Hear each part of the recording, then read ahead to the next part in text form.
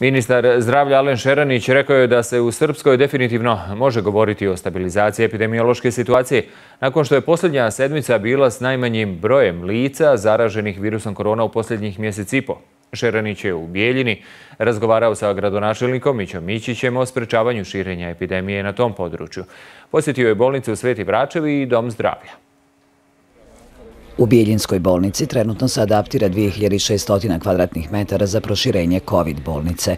Za te namjene vlada je obezbijedila 654.000 maraka, a gradska uprava dodatnih 200.000. Ovdje smo obišli i vidjeli kapacitete, dodatne kapacitete vezane za buduću COVID bolnicu, koja svakako u smislu onoga što tražimo od, sa strane ministarstva, od strane ustanova, treba da ima minimalno dvije operacijone sale, koje, se, koje bi se koristile vezano za pacijente koji su zaražene koronom, ali u smislu zbrinjavanja hiruških intervencija ili ginekoloških intervencija ukoliko one budu bile potrebne. Centralni razvod gasova planiramo da se uspješno završi, gdje će biti jedna od najmodernijih podstanica sa protokom kiselnika od e, 50 metara kubnih e, po satu. U COVID bolnici u Bijeljini trenutno je sedam pacijenata.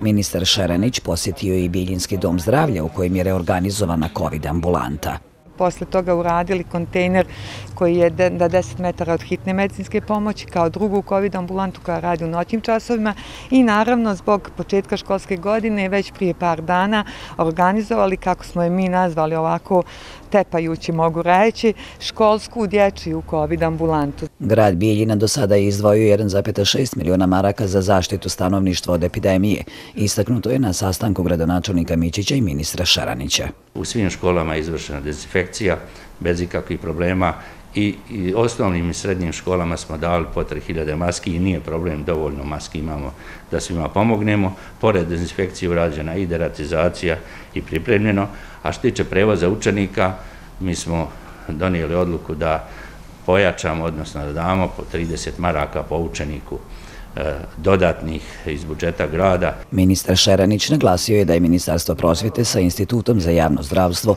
uz podršku Ministarstva zdravlja obezbijedilo sve preduslove za odvijenje nastave u uslovima epidemije.